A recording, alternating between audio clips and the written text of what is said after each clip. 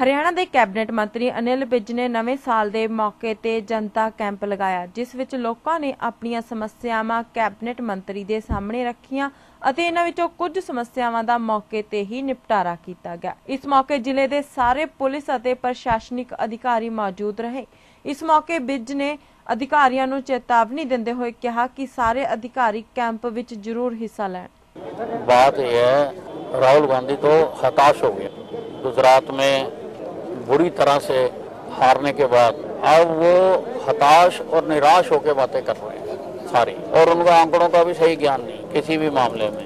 जो उसके आका, उसको पर्ची लिख के दे देते हैं, राहुल गांधी वही बोलते हैं।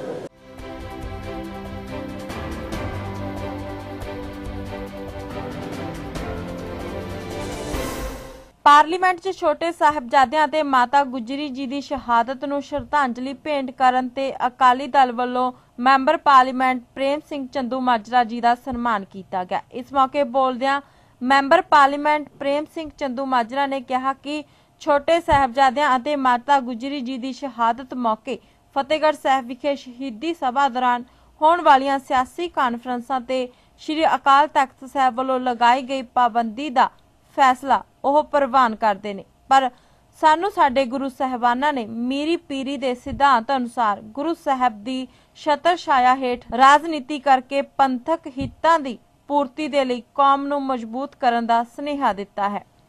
ਔਰ ਮੈਂ ਤਾਂ ਸ਼ੁਕਰਗੁਜ਼ਾਰ ਹਾਂ, ਬਾਬਾ ਜੋਰਾਵਰ ਸਿੰਘ, ਬਾਬਾ ਫਤਿਹ ਸਿੰਘ, ਮਾਤਾ ਗੁਜਰੀ ਜੀ ਦਾ, ਗੁਰੂ ਸਹਿਬਾਨ ਦਾ, ਪਰਮਾਤਮਾ ਦਾ, ਜਿਨ੍ਹਾਂ ਨੇ ਇਹ ਸੇਵਾ ਮੇਤੋਂ ਲਈ ਔਰ ਗੁਰੂ ਸਾਹਿਬ ਦਾ ਜੋ ਹੁਕਮ ਹੈ ਸਭ ਹੱਥ ਵਡਿਆਈਆਂ ਜਿਸ ਭਾਵੇ ਤਿਸ ਦੇ।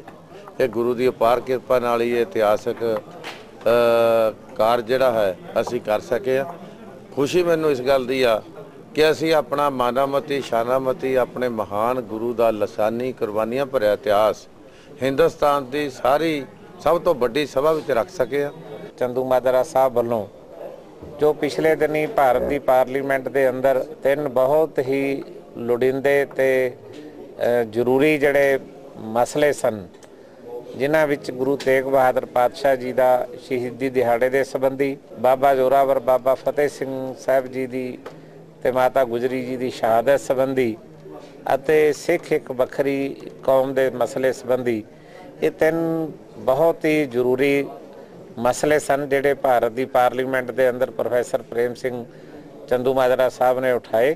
ਫਤਿਹਗੜ੍ਹ ਸਾਹਿਬ ਦੀਆਂ ਸਮੂਹ ਸੰਸਥਾਵਾਂ, ਭਾਵੇਂ ਉਹ ਪੰਚਾਇਤ, ਪੰਚ, ਸਰਪੰਚ, ਬਲਾਕ ਸੰਮਤੀ ਮੈਂਬਰ, ਜ਼ਿਲ੍ਹਾ ਪ੍ਰੀਸ਼ਦ ਮੈਂਬਰ, ਨਗਰ ਕੌਂਸਲ, ਸਾਡੇ ਕੌਂਸਲਰ ਸਾਰੇ ਔਰ ਹੋਰ ਸਾਡੀਆਂ ਸਿੱਖ ਜਥ- ਜਥੇਬੰਦੀਆਂ, ਸਾਰੀਆਂ ਜਥੇਬੰਦੀਆਂ ਵੱਲੋਂ ਅੱਜ, ਜੋ ਪਿਛਲੇ ਦਿਨੀ ਪ੍ਰੋਫੈਸਰ ਪ੍ਰੇਮ ਸਿੰਘ ਚੰਦੂ ਮਾਜਰਾ ਸਾਹਿਬ ਨੇ ਪਾਰਲੀਮੈਂਟ ਦੇ ਵਿੱਚ ਬਾਬਾ ਜੋਰਾਵਰ ਸਿੰਘ, ਬਾਬਾ ਫਤਿਹ ਸਿੰਘ ਤੇ ਮਾਤਾ ਗੁਜਰੀ ਦੀ ਸ਼ਹਾਦਤ ਬਾਰੇ ਜੋ ਪ੍ਰਸਤਾਵ ਰੱਖਿਆ ਔਰ ਉੱਥੇ ਜੋ ਸ਼ਰਧਾਂਜਲੀ ਇਹਨਾਂ ਦੇ ਕਹਿਣ ਦੇ ਉੱਤੇ ਜੋ ਸਾਰੇ ਹਾਊਸ ਨੇ, ਉਹ ਸਰਬਸੰਮਤੀ ਨਾਲ ਜਿਹੜੀ ਸ਼ਰਧਾਂਜਲੀ ਸਾਹਿਬਜ਼ਾਦੇ ਨੂੰ ਦਿੱਤੀ।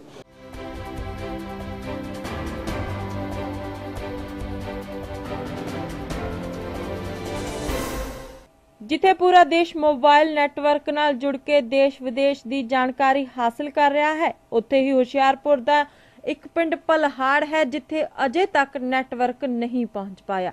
ਪਰ ਇੱਥੇ ਸਭ ਤੋਂ ਵੱਧ ਧਿਆਨ ਦੇਣ ਜੋ ਗੱਲ ਇਹ ਹੈ ਕਿ ਇਸੇ ਪਿੰਡ ਦਾ ਖੁਦ ਦਾ ਹੀ ਲੜਕਾ ਮੌਜੂਦਾ ਵਿਧਾਇਕ ਹੈ ਅਤੇ ਪਿੰਡ ਵਿੱਚ ਨੈਟਵਰਕ ਦੀ ਵੱਡੀ ਸਮੱਸਿਆ ਨੂੰ ਕਬੂਲ ਰਿਹਾ ਹੈ। ਸਮੱਸਿਆ ਸਾਰੀ ਨੈਟਵਰਕ ਦੀ ਹੈ ਕਿ ਅਗਰ ਅਸੀਂ ਕਿਸੇ ਨਾਲ ਐਮਰਜੈਂਸੀ ਕੋਈ ਗੱਲ ਕਰਨੀ ਹੈ ਤਾਂ ਨੈਟਵਰਕ ਪ੍ਰੋਬਲਮ ਹੋਣ ਦੀ ਕਾਰਨ ਅਸੀਂ ਉਹਨਾਂ ਨਾਲ ਗੱਲ ਨਹੀਂ ਕਰ ਪਾਉਂਦੇ। ਪ੍ਰੋਬਲਮ ਸਾਡਾ ਪਿੰਡ ਜੀ ਕਿਤੇ ਵੀਆਈਪੀ ਹੋਣ ਦੇ ਬਾਵਜੂਦ ਵੀ ਇੱਥੇ ਨੈਟਵਰਕ ਪ੍ਰੋਬਲਮ ਬਹੁਤ ਜ਼ਿਆਦਾ ਹੈ ਹਰ ਬੰਦੇ ਦੇ ਕੋਲ ਐਂਡਰੋਇਡ ਫੋਨ ਹੈਗੇ ਨਾ ਤੇ ਉਹ ਨਾ ਤੇ ਫੇਸਬੁੱਕ WhatsApp ਇਨਕਮਿੰਗ ਆਊਟਗੋਇੰਗ ਕੁਝ ਵੀ ਨਹੀਂ ਕਰ ਸਕਦੇ ਇੱਥੇ। ਸਿਰਫ ਰੇਂਜ ਨਹੀਂ ਹੋਣ ਦੀ ਵਜ੍ਹਾ ਨਾਲ। ਪਰ ਸਭ ਕੁਝ ਹੋਣ ਦੇ ਬਾਵਜੂਦ ਮੇਰਾ ਪਿੰਡ ਜਿਹੜਾ ਹੈ 90% ਇੱਥੇ ਫੌਜ 'ਚ ਸੇਵਾ ਕਰਦੇ ਨੇ ਜਿਹੜੇ ਇੱਥੋਂ ਦੇ ਜਵਾਨ।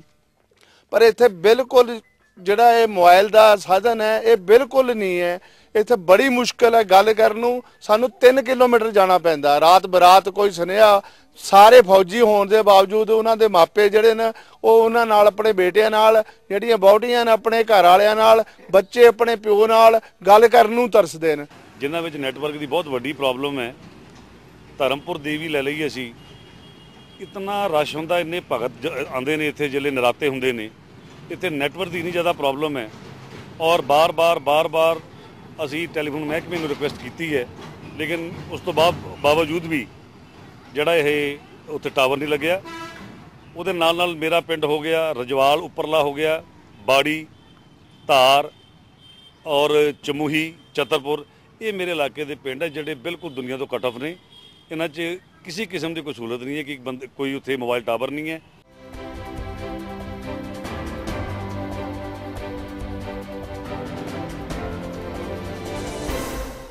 ਦਸ਼ਮੇਸ਼ ਪਿਤਾ ਸਾਹਿਬ ਸ੍ਰੀ ਗੁਰੂ ਗੋਬਿੰਦ ਸਿੰਘ ਜੀ ਮਹਾਰਾਜ ਦਾ ਪ੍ਰਕਾਸ਼ ਪੁਰਬ ਇੰਦਰੀ ਬੜੀ ਸ਼ਰਧਾ ਤੇ ਧੂਮਧਾਮ ਨਾਲ ਮਨਾਇਆ ਗਿਆ। ਇਸ ਮੌਕੇ ਸ਼ਹਿਰ 'ਚ ਨਗਰ ਕੀਰਤਨ ਦਾ ਆਯੋਜਨ ਕੀਤਾ ਗਿਆ। ਇਹ ਨਗਰ ਕੀਰਤਨ ਇੰਦਰੀ ਦੇ ਗੁਰਦੁਆਰਾ ਸਾਹਿਬ ਤੋਂ ਸ਼ੁਰੂ ਹੋ ਕੇ ਅਲੱਗ-ਅਲੱਗ ਰਸਤਿਆਂ ਤੋਂ ਹੁੰਦਾ ਹੋਇਆ ਵਾਪਸ ਗੁਰਦੁਆਰਾ ਸਾਹਿਬ ਪਹੁੰਚਿਆ। ਨਗਰ ਕੀਰਤਨ 'ਚ ਸ੍ਰੀ ਗੁਰੂ ਗ੍ਰੰਥ ਸਾਹਿਬ ਜੀ, ਸ਼ਾਸਤਰ ਸਕੂਲ ਕਰਨਾਲ ਦੇ ਮੈਂਬਰਾਂ ਦੁਆਰਾ ਗੱਤਕਾ ਅਤੇ ਤਲਵਾਰਬਾਜ਼ੀ ਦੇ ਜਹਰ ਦਿਖਾਏ ਗਏ ਅਤੇ ਨਗਰ ਕੀਰਤਨ ਮੌਕੇ ਗੁਰੂ ਗ੍ਰੰਥ ਸਾਹਿਬ ਜੀ ਦੀ ਪਾਲਕੀ ਨੂੰ ਬਹੁਤ ਹੀ ਸੁੰਦਰ ਢੰਗ ਨਾਲ ਸਜਾਇਆ ਗਿਆ जिन्होंने इस देश की आन और शान के लिए अपना सर्वंश कुर्बान कर दिया उनकी आगमन दिवस की प्रकाश दिवस की खुशी में आज ये नगर कीर्तन निकल रहा है शोभा यात्रा है जिसमें कि सारे नगर निवासी बड़ी हुम हुम आके दर्शन कर रहे हैं संगत के गुरु का आशीर्वाद प्राप्त कर रहे हैं। गुरुद्वारा प्रबंधक कमेटी की ओर से